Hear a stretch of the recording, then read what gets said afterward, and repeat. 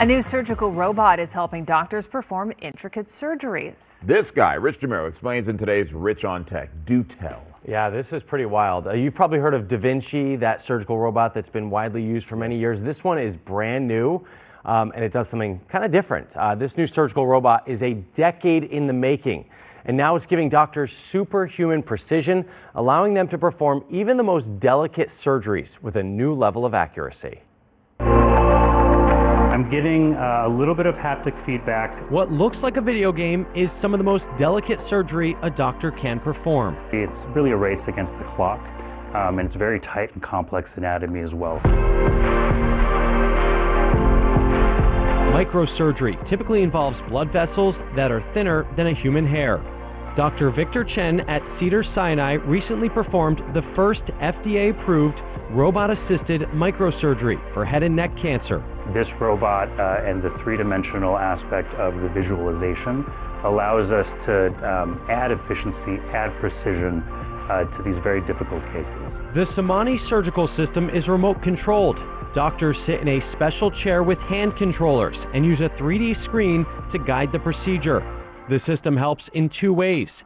First, it magnifies the area they're operating on, making delicate procedures easier to perform. When we're watching it on the screen, it can look normal to us, but in reality, it's absolutely tiny. It also reduces natural tremors in the hand. It's going to open up a whole new avenue of treatments for patients for diseases we've never even considered treatment. Dr. Kurt Citrullo advocated for getting the equipment at the medical center. He calls the first procedure a success. The procedure was executed very cleanly and efficiently, and it worked for the patient. The flap lived, and the patient did well. So in both those, by both those metrics, where it was a 100% success. The system is currently approved for head and neck microsurgery, but in the future, that could expand to procedures inside the brain, abdomen, and chest.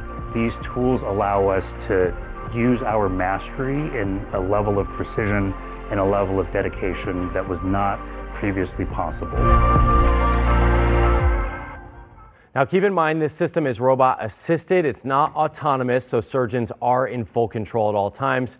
One doctor I spoke with believes this could one day make previously impossible surgeries like an eye transplant one day possible.